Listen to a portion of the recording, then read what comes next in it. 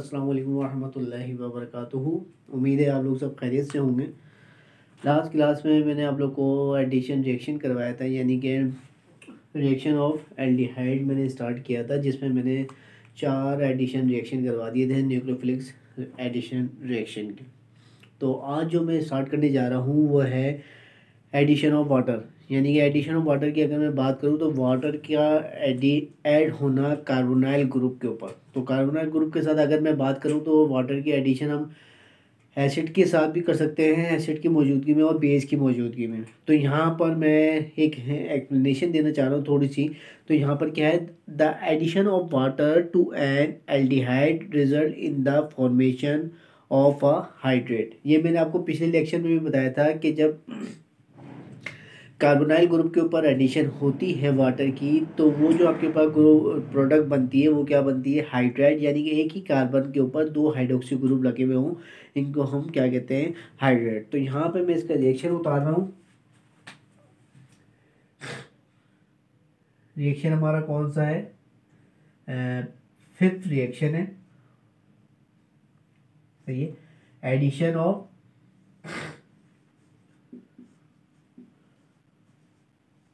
Water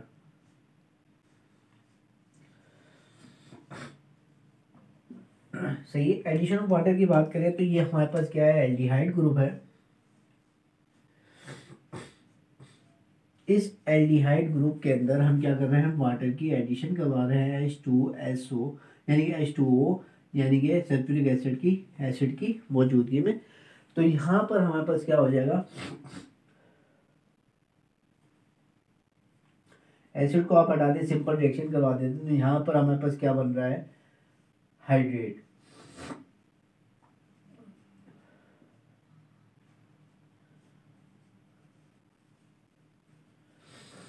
सही?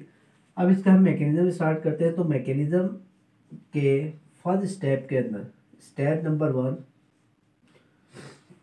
के अंदर होता क्या है बेसिकली ये जो वाटर का मॉलिक्यूल्स है, इसको हम इस तरह एक्सप्लेन कर सकते हैं water acting as a nucleophile सही है? किसके ऊपर? यानी एज अ न्यूक्लोफाइल के ऊपर is attract to the partially positive carbon यानी कि कार्बोनाइल कार्बन जो है, वो एज ए क्या है पार्शली पॉजिटिव है तो उसके ऊपर क्या काम कर रहा है? ये एज ए न्यूक्लोफाइल के तौर पे वाटर का मॉलिक्यूल अटैक कर रहा है और जनरेट क्या कर रहा है? ऑक्सोनियम आइन तो यहाँ पर अगर हम बात करें तो ये हमारा फ़र्स्ट स्टेप है। तो फ़र्स्ट स्टेप के अंदर ये हमारा एल्डिहाइड ग्रुप है। इस एल्डिहाइड ग्रुप के ऊपर क्या काम हो रहा है? वाटर का मॉलिक्यूल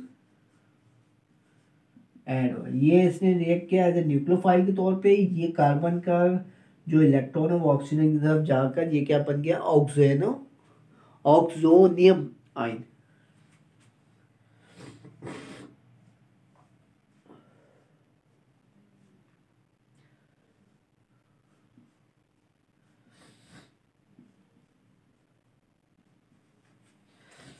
सही है, ये आपके पास मॉलिक्यूल बन जाएगा। जैसे ही ये बनेगा तो सेकंड स्टेप के अंदर क्या होगा? ये जो ऑक्सोनियम आइन होगा, ये as a liberates hydrogen hydrogen ion. Is picked up up up the oxygen anion in an acid base reaction. सही तो यहाँ पर जो हमारा सेकेंड स्टेप हो रहा है, ये क्या काम कर रहा है? ये जो ऑक्सोनियम आयन बन रहा है ये ऑक्सोनियम आयन क्या काम करेगा? इस हाइड्रोजन को कैप्चर करेगा।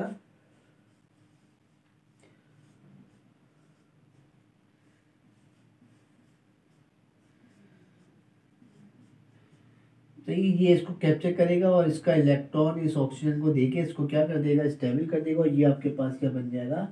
हाइड्राइड हाइड्रेट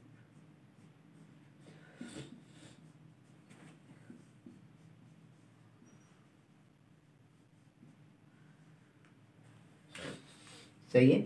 तो यहाँ पर इसका मैकेनिज्म क्या हुआ कि जब हमने वाटर की एडिशन करवाई तो ये हमारे पास क्या बन गया? हाइड्रेट बन गया। इसका फ़र्स्ट स्टेप के अंदर वाटर का मॉलिक्यूल एज ए न्यूक्लोफाइल के तौर पे इस कार्बोनाइल कार्बन पर अटैक कर रहा है। क्योंकि ये एज अ पार्शियली का पॉजिटिव चार्ज रखता है तो इसके ऊपर अटैक करने के बाद ये इलेक्ट्रॉन ऊपर जाएँगे ऑक्सीजन के पास तो ये क्या बन जाएगा? ऑक्जोनियम आइन तो ऑक्जोनियम आइन के ऊपर जैसे ही बनेगा, ये इस वाटर से एच लेगा और इस ऑक्सीजन को स्टेबल कर देगा ये आपके पास क्या बन जाएगा? हाइड्रेट अब हम चलते हैं अपने सेकेंड रिएक्शन पे यानी कि सिक्स रिएक्शन पे सिक्स एडिशन रिएक्शन पे।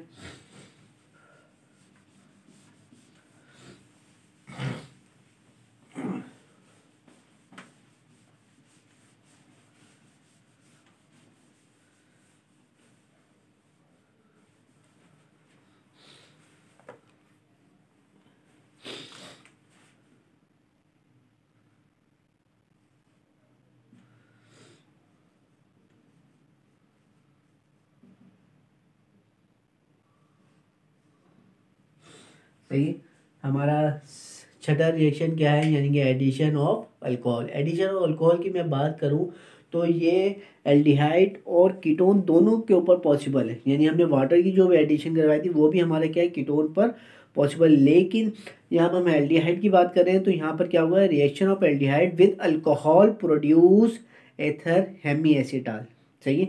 तो ये जब भी एल्डिहाइड के ऊपर अल्कोहल का रिएक्शन होगा तो हमारे पास जो प्रोडक्ट बनेगी, वो बनेगी हेमी एसीटाल सही है? तो यहाँ पर इसका रिएक्शन में उतार रहा हूँ। तो ये हमारे पास क्या है? एल्डिहाइड ग्रुप है। इसके ऊपर अल्कोहल का रिएक्शन हो रहा है। अल्कोहल का रिएक्शन होने के बाद ये हमारा क्या बन गया?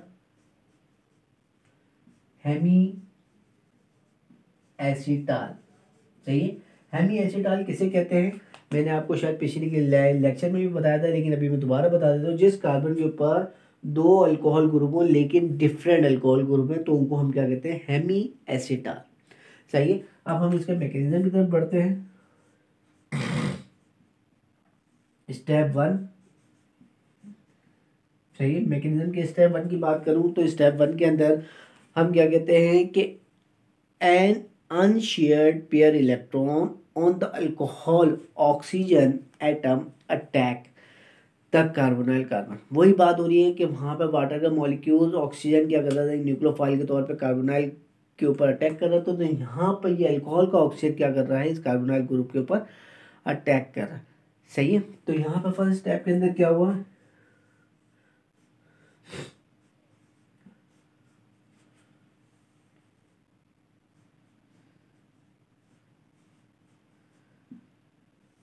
इसने अटैक किया न्यूक्लियोफाइल के तौर पे, ये ऑक्सीजन यानी कि कार्बन का इलेक्ट्रॉन ऑक्सीजन की तरफ़ गया तो ये आपका क्या बना ऑक्सोनियम आइन बन गया।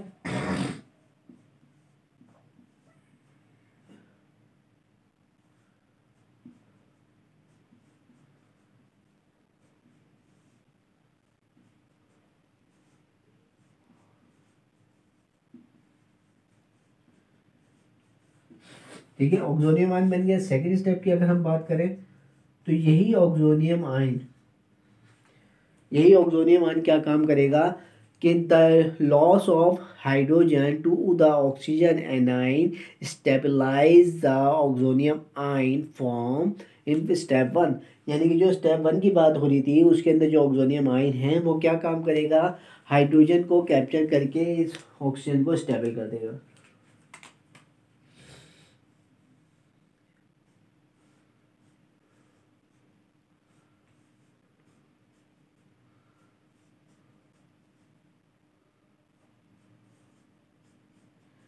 सही इसने इसको कैप्चर किया, इसका इलेक्ट्रॉन ऑक्सीजन को दिया और ये आपके पास क्या बन गया? हेमी एसीटाल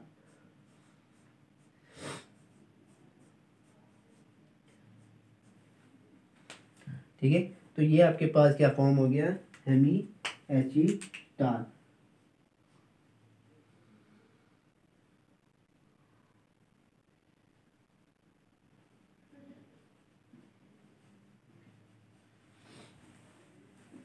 तो यहाँ पर हमारे पास क्या हो गया? सिक्स रिएक्शन यानी छठा रिएक्शन कंप्लीट हो गया है। अब हम ये स्टार्ट करते हैं सातवें रिएक्शन पे। तो यहाँ पर वैसे तो वाटर और अल्कोहल दोनों सेम रिएक्शन है। सेम ही प्रोडक्ट बनाते हैं। सेम एडिशन देते हैं और प्रोडक्ट हम की क्या बनती है? एक एसिटाल बनती है और एक दूसरी क्या बनती है? हेमी एसिटाल तो अब हम चलते हैं सातवें रिएक्शन यानी कि एडिशन रिएक्शन पे। तो हम स्टार्ट करते हैं सातवां एडिशन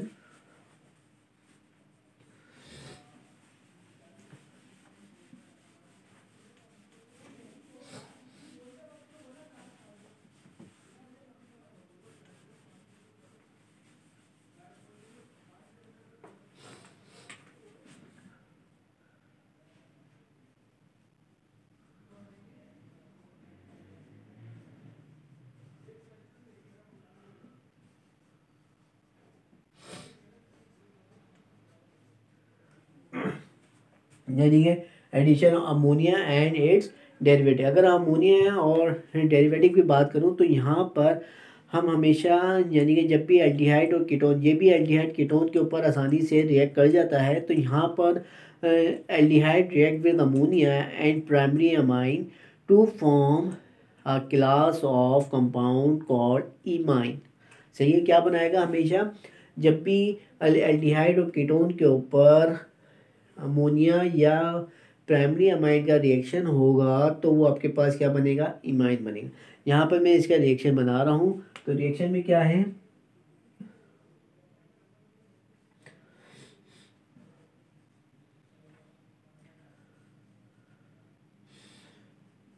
ये आपके पास क्या हो गया? एल्डिहाइड हो गया। इस एल्डिहाइड के ऊपर प्राइमरी अमाइन का रिएक्शन करवाते हैं। तो प्राइमरी अमाइन का जब रिएक्शन होगा तो ये आपके पास क्या बन जाएगा?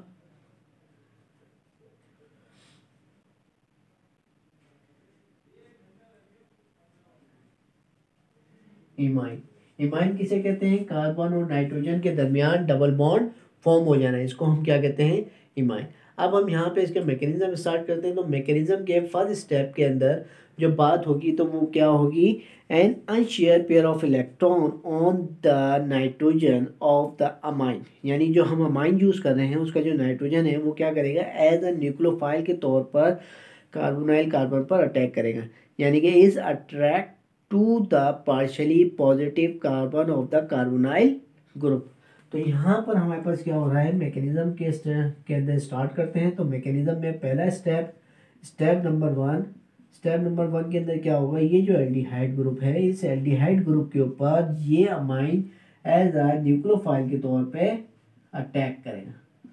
इसके इलेक्ट्रॉन न्यूक्लोफाइल के ऊपर यानी कि unshare unshare of electron attack as a nucleophile के कार्बन पर, और ये इलेक्ट्रॉन ऑक्सीजन की तरफ़ बढ़ जाएँगे। जैसे ही ऑक्सीजन के पास जाएँगे,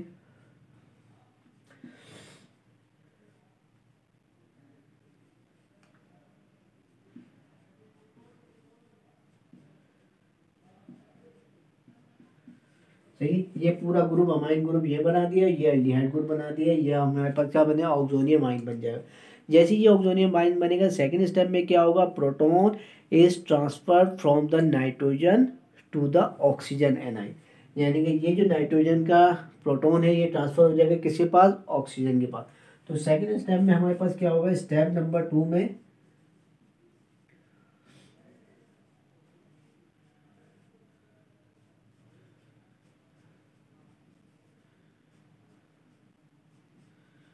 ये इस एच को लेगा, इस प्रोटोन को लेगा, इसका इलेक्ट्रॉन नाइट्रोजन को देके इसको नाइट्रोजन को स्टेबल कर देगा और ये आपके पास क्या बन जाएगा?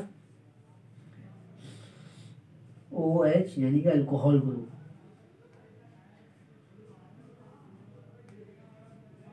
और ये आपके पास क्या जाए एन एच आर अब थर्ड स्टेप के अंदर क्या होगा? वो हम आगे लिखते हैं, इसको रब करते हैं तो यहाँ पर क्या हो रहा है? ये एज ए न्यूक्लोफाइल के तौर पे इस कार्बन पर अटैक कर रहा है, इसका इलेक्ट्रॉन ऑक्सीजन के पास जा रहा है तो ये ऑक्सोनियम आइन बन रहा है। जैसे ये ऑक्सोनियम आइन बनेगा तो सेकेंड स्टेप में ये हाइड्रोजन को कैप्चर करके इसका इलेक्ट्रॉन नाइट्रोजन को दे देगा, और ये क्या बन जाएगा? ओ एच ग्रुप यानी कि हाइड्रोक्सी ग्रुप अब थर्ड स्टेप में क्या होगा? ये जो हाइड्रोक्सी ग्रुप है, ये प्रोटोनेटेड करेगा। किससे? एसिड से प्रोटोनेटेड करेगा। यहाँ पर हमने एसिड यूज़ नहीं किया तो यहाँ पर एसिड यूज़ कर देते हैं एच थ्री ओ प्लस सही? ये एसिड यूज़ करेगा। एसिड यूज़ करने के बाद ये बन जाएगा वाटर अब हम आगे चलते हैं। थर्ड स्टेप करते हैं।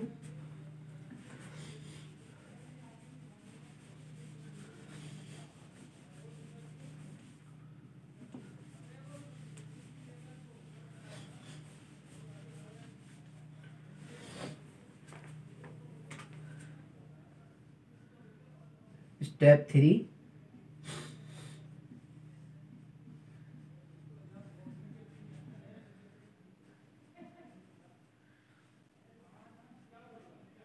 सही, ये एसिड से क्या करेगा? एच को लेगा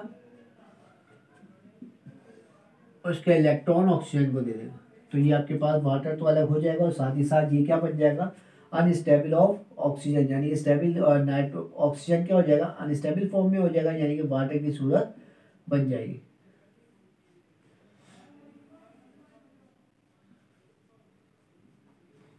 ठीक है? ये हमारे क्या हो गया? थर्ड स्टेप यानी कि the hydroxy group is protonated to yield ammonium यानी ऑक्जोनियम जो ऑक्जोनियम आइन है, वो क्या कर रहा है? प्रोटोन ले रहा है। लेने के बाद क्या कर रहा है? टू माइग्रेट सही है?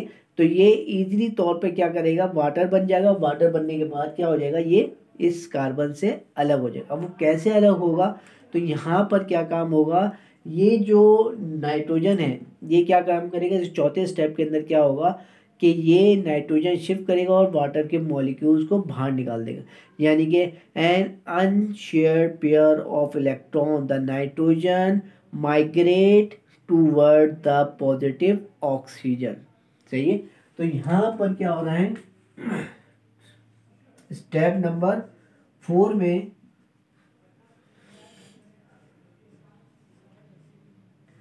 ओ एच टू में एक ही साथ ही लिख देता हूँ। ये नाइट्रोजन का अनशेयर ऑफ़ इलेक्ट्रॉन है। ये क्या काम करेगा? इधर शिफ्ट करेगा और ये वाटर का मॉलिक्यूल बाहर चले जाएगा। माइनस वाटर हो जाएगा एच टू ओ और ये आपके पास क्या बन जाएगा? R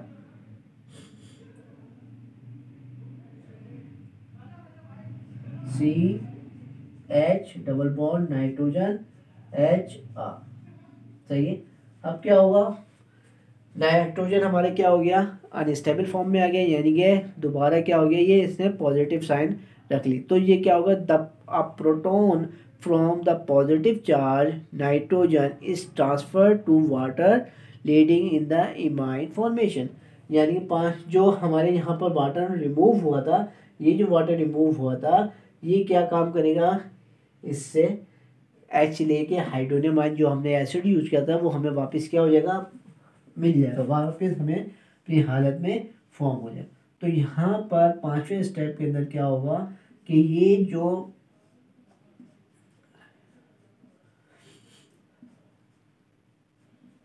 इमाइन के नाइट्रोजन के साथ हाइड्रोजन है प्रोटॉन है, इसको क्या काम करेगा? वाटर जो निकला था, वो क्या काम करेगा? इसको लेगा और हाइड्रोनियम आयन बना लेगा और इस नाइट्रोजन को स्टेबल करके ये आपके पास क्या बन जाएगा?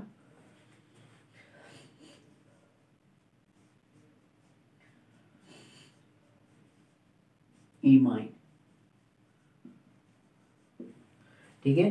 तो यहाँ पर हमारे पास क्या हो गया? इमाइन फॉर्म हो गया। तो यहाँ पे थर्ड स्टेप के अंदर क्या होगा? यहाँ ये जो हाइड्रोक्सी ग्रुप है, ये एसिड से एच लेगा प्रोटोन लेगा लेने के बाद ये वाटर बन जाएगा। जैसे ही वाटर बनेगा, ये जो अन शेयर ऑफ़ इलेक्ट्रॉन है नाइट्रोजन के, ये डबल बॉन्ड बनाएँगे कार्बन की तरफ़ और यहाँ से वाटर के मॉलिक्यूल निकाल देंगे। क्योंकि वाटर का मॉलिक्यूल खुद ही क्या करेगा, इससे इलेक्ट्रॉन लेके निकल जाएगा तो इसके इलेक्ट्रॉन इधर शिफ्ट होंगे और ये हमारे पास क्या बन जाएगा? यानी कि डबल बॉन्ड फॉर्म हो जाएगा और नाइट्रोजन स्टेबल हो जाएगा। इसको स्टेबल करने के लिए ये जो वाटर का मॉलिक्यूल हमारे सेकेंड स्टेप इस थर्ड स्टेप के अंदर निकला था, ये क्या काम करेगा? लेगा। लेने के बाद अपना हाइड्रोजन आयन दोबारा फॉर्म कर देगा और इस नाइट्रोजन को स्टेबल कर देगा और ये आपके पास क्या बन जाएगा? इमाइन तो यहाँ पर हमारे पास क्या हो गया है? Nucleophilic addition reaction nucleophilic addition reaction क्या हो गई है? एल्डिहाइड के ऊपर कंप्लीट हो गई है।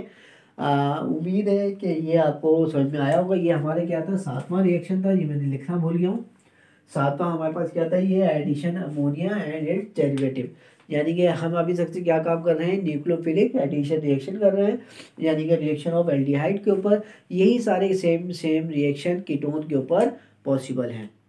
तो उम्मीद है आप लोगों को समझ में आया होगा। इंशाल्लाह नेक्स्ट क्लास में, इंशाल्लाह नए टॉपिक के साथ मैं हाजिर रहूँगा। बहुत जल्दी वालेकुम